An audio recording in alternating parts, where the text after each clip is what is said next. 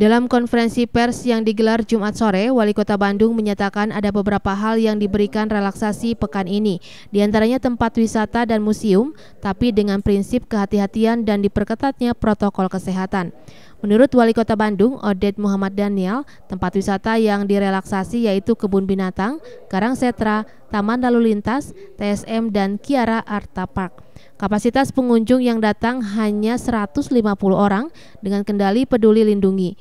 Namun konser di ruang terbuka belum disepakati karena dikhawatirkan sulit mengontrol jumlah orang yang datang. Alhamdulillah tentang museum ya kita juga akan apa namanya memiliki pembukaan relaksasi namanya.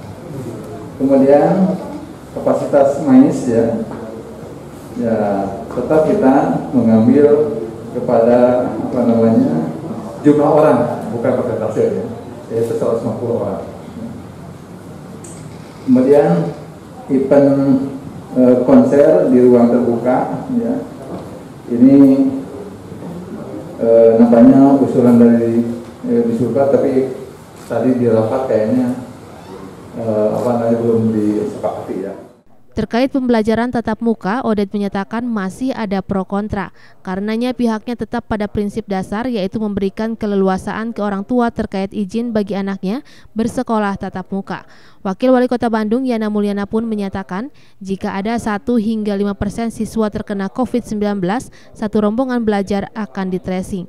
Tapi jika jumlah siswa yang terkena COVID-19 lebih dari 5 persen, sekolah tersebut akan ditutup. Untuk mengantisipasi penularan COVID-19, vaksinasi pun terus dilakukan. Itu 10 persen dari sekolah yang sudah diizinkan melakukan PTMT. Uh, eh, nanti dari hasil random itu, kalau di bawah eh, satu uh, persen hasilnya itu uh, di tracing aja.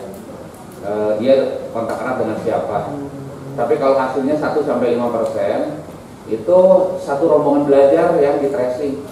Oh. Jadi sekelas itulah misalkan. Tapi kalau di atas 5 persen hasilnya, sekolah itu ditutup.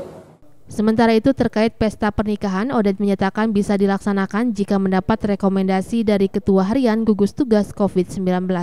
Jumlah orang yang datang pun maksimal 20 orang per sesi. Budi Hartati, Bandung TV.